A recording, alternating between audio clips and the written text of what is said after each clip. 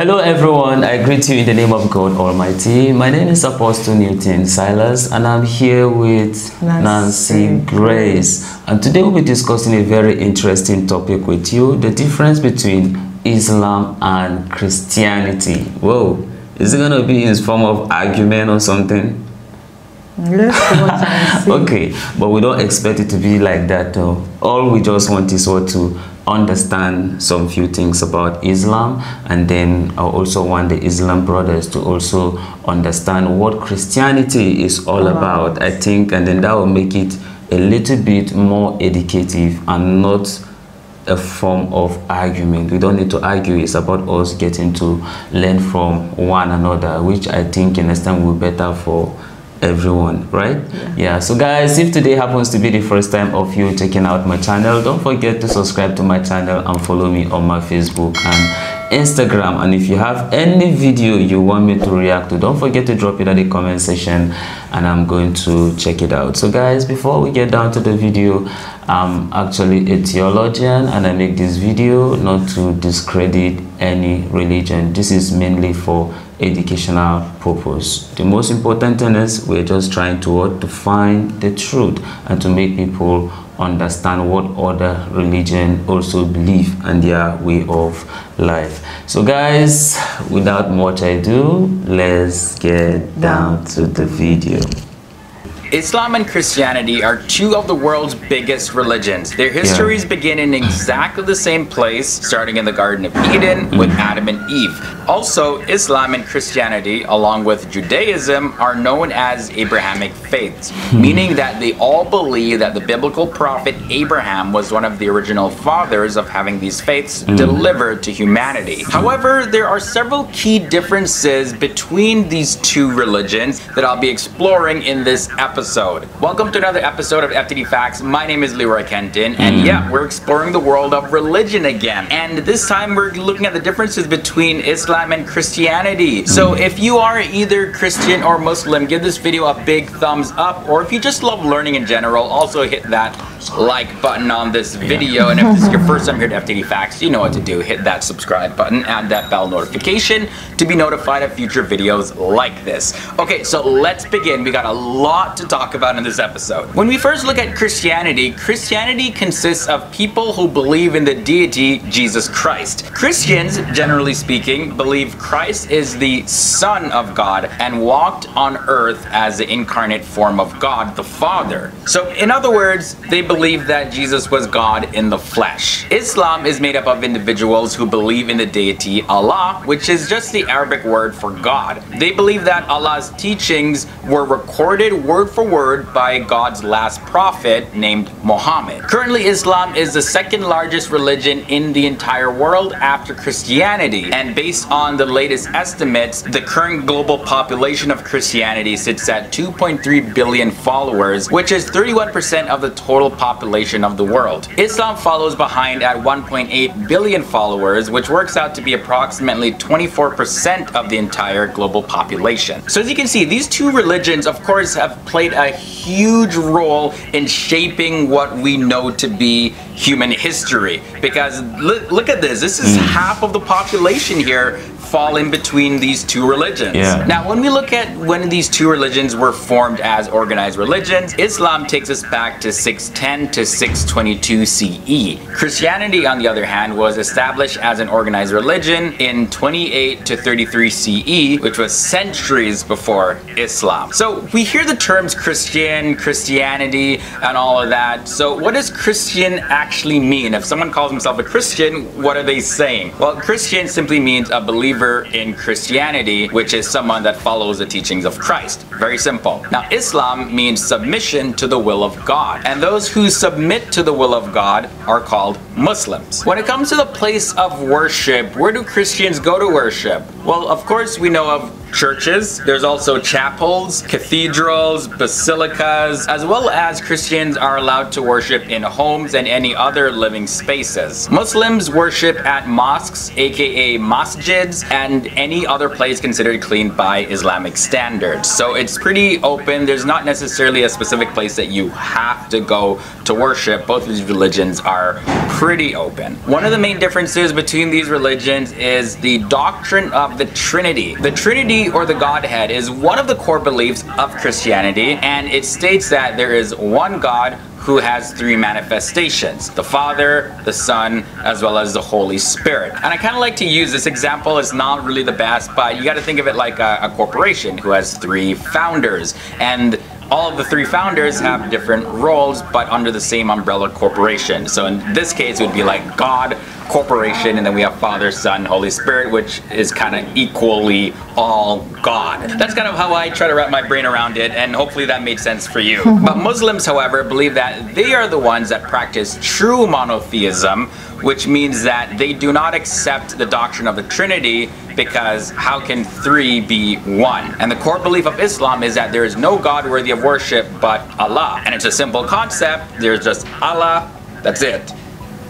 When it comes to the differences between the scriptures in Christianity and Islam, the holy book in Christianity, of course, is the Bible, and it's said to be the inspired word of God. This means different things to different people, but pretty much it means that Christians believe that the books of the Bible are written mm. by many people over a span of 1500 years, and those people were guided by the Spirit of God through divine inspiration. And these writings came through various different forms. You know, in the Bible, there's songs, there's poetry, there's stories, there's genealogies. And in these writings, we see personal expressions of human beings working side by side with God. Now, when we look at the holy book of Islam, the Quran, it is said to be the word of God. And it was dictated to Muhammad and it was written down word for word without any sort of personal expression or any other humanness, if you will, added to the writings. The most true reading of the Quran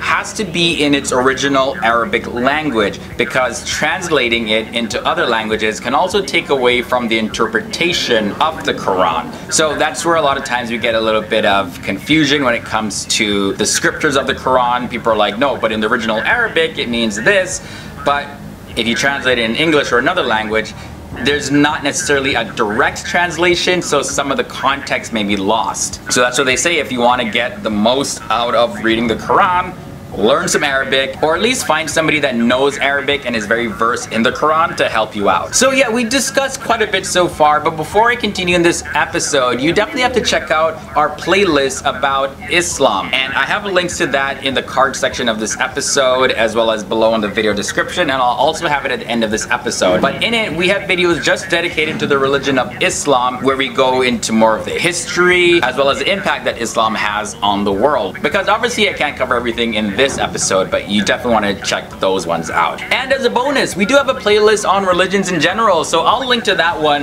as well. There's a lot of learning that you can do here on FTD Facts. We've done a lot of videos about religion and culture here on FTD Facts, so feel free to check those out after this episode. Okay, so the next difference I'm looking at is the difference in the prophets. So in the Quran, the prophet Abraham was known as the beloved servant of God, and because of Abraham's devotion to God, God made many of Abraham's descendants prophets. Now the story of the prophet Abraham being commanded to sacrifice his own son Isaac is known in both Christianity and Islam. In Islam, that hmm. son, however, who God told Abraham to sacrifice is Ishmael, hmm. and it was through his lineage that Islam was established through the Prophet Muhammad. In Christianity, the son that Abraham was told to sacrifice was his son Isaac.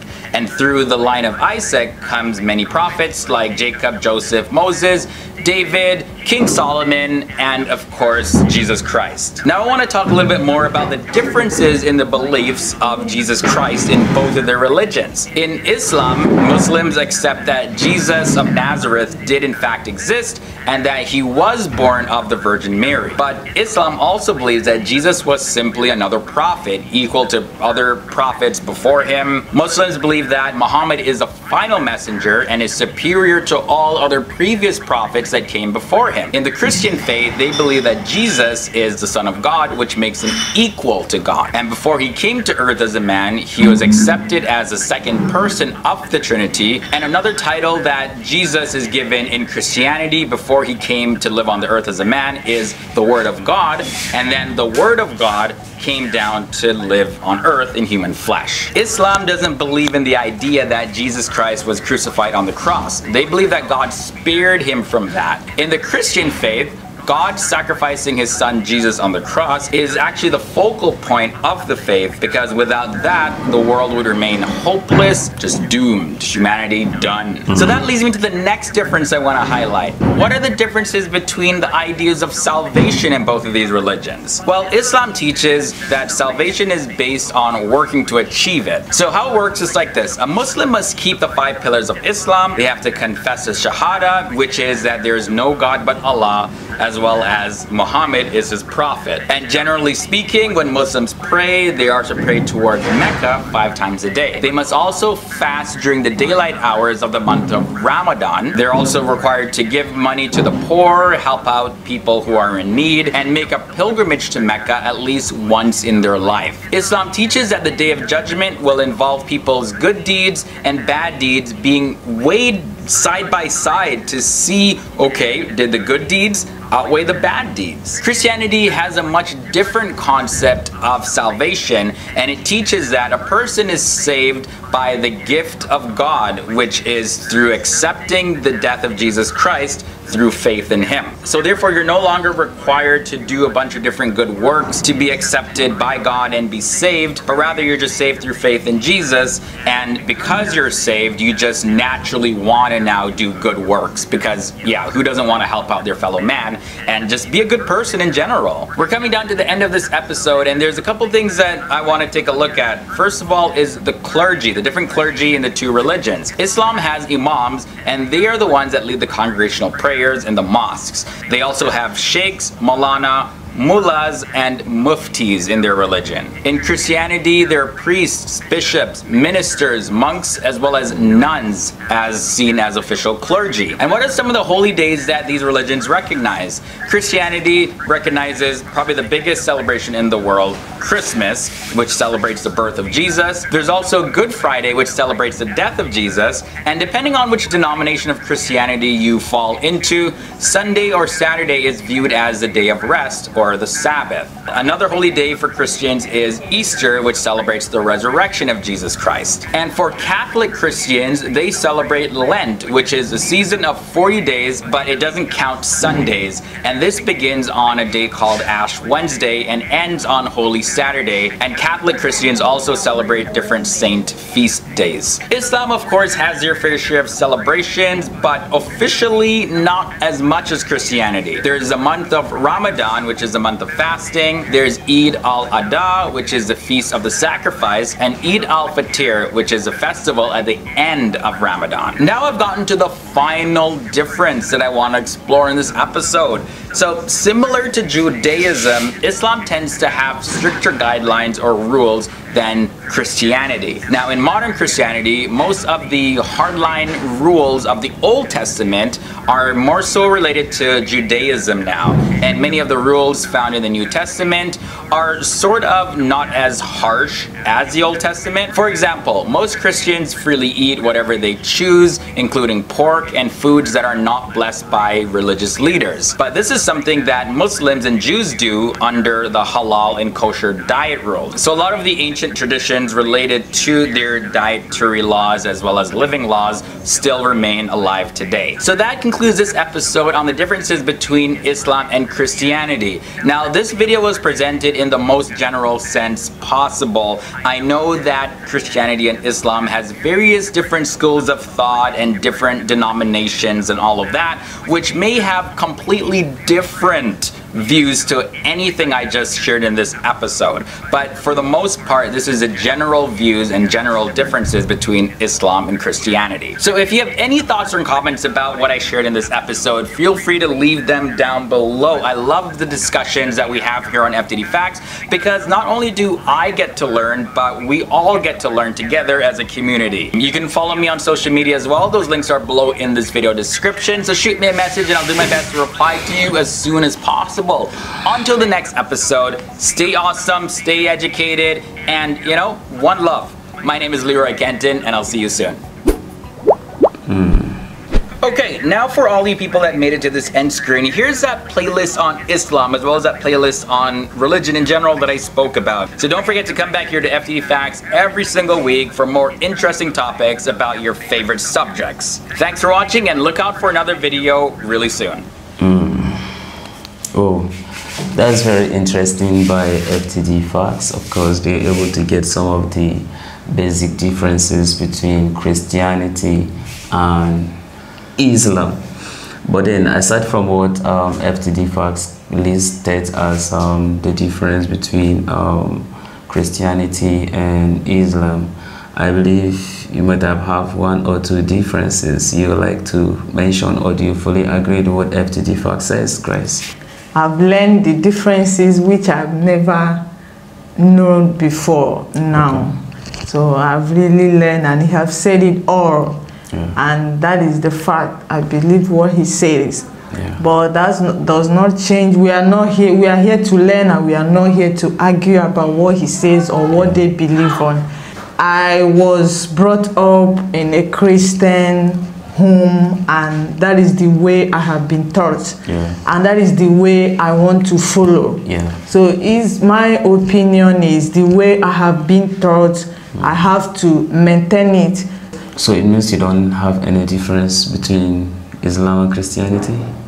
I don't have any difference because he have said it all that we have differences but okay all right. So he mentioned that um, Christians are allowed to eat pork. Is it true he there are some Christians that eat pork. Does not mean that. We, so if some few Christians or some denomination eat pork, does it mean Christian eat pork? I don't really. I okay. agree with it because yeah. I don't eat pork. Yeah. So that is his own thought that Christians eat pork because yeah. there are some people yeah. who eat pork that yeah. say they are Christians. And which I also think that there are also people in the in other religion that may hide and eat but yeah. God knows them. Yeah. Uh, that is my own yeah. opinion. So it's just like to say that some Muslim may hide and then eat dog doesn't mean, mean that, that says that yeah, Muslim, Muslim eat dogs. Eat dogs I yeah. feel to understand is wrong like that because it's not every Christians that, that um, eats. eat um, pork. Or if some of them eat, so be it.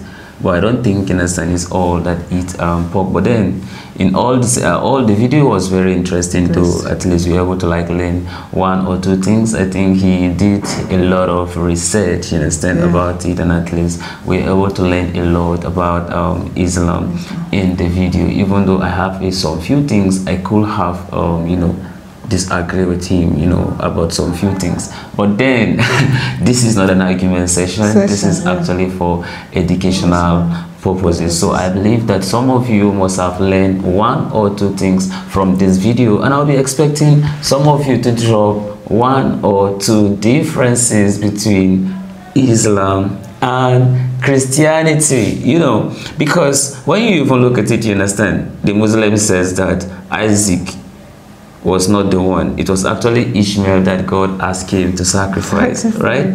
Whereas the Christianity says it is Isaac that God asked him to, to, to sacrifice. So which is which which is true.